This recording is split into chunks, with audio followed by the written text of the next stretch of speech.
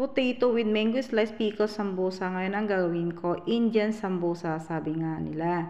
Of course, first, nag-cut mo muna ako ng onion. And cut small pieces yung ating onion. Kailangan prepare mo muna. And then, cut po yung potato sa small pieces. Ganyan.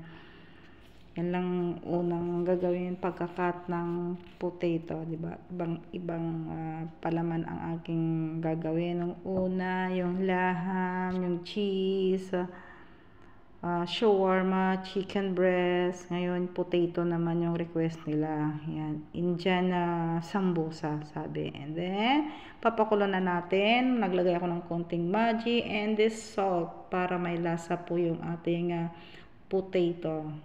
Kailangan maluto lang na ng konti. Yan, yan lang. And then, sasalain. Yan, tama lang pagkaka laga niya. And then, pre-prepare ko na rin po yung mga ingredients yan na lahat. And then, naglagay tayo ng onion sa frying pan. Onion, the garlic, saute. Mix together na. Pagsabay na na natin. Igigisa muna natin until the golden brown po yung onion, the garlic. Ayan hanggang labas po yung bango. And then, pinagsabay na natin yung mga ingredients niya. Black pepper, black lemon powder, curry, turmeric, and minsanan na. Then, lagay yung uh, potato na nilaga. Ayan, dahan-dahan lang po yung uh, paghahalo para maging tama. Hindi siya uh, mabasag totally yung ating uh, potato. Ayan, ganyan lang. Di ba napakasimple lang ang palaman na pinagagawa ko.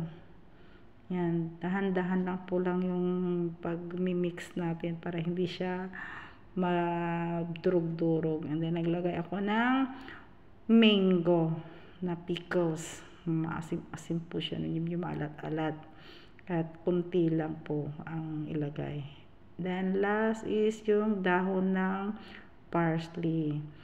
Yan, mix together na natin. Slow fire lang po yung uh, pagluluto niyan para hindi siya masunog or mabigla pagkakaluto.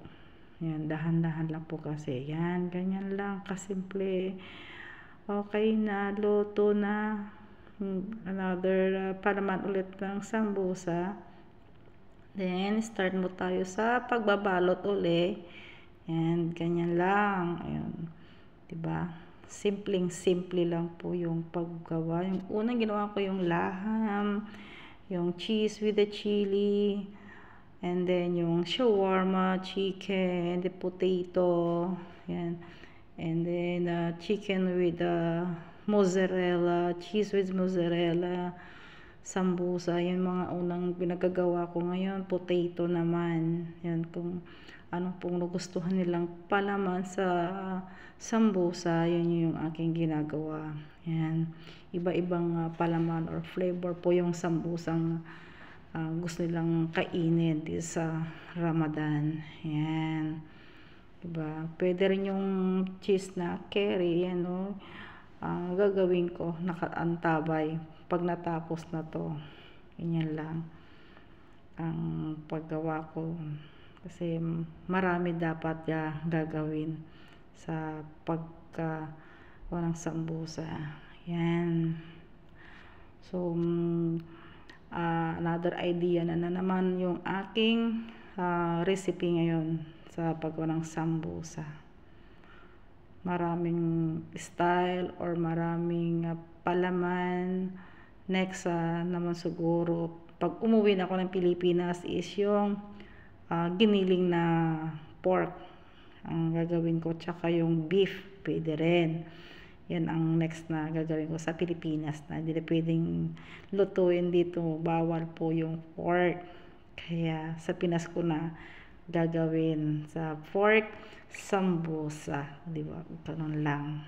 Or adobong pork sambosa pwede.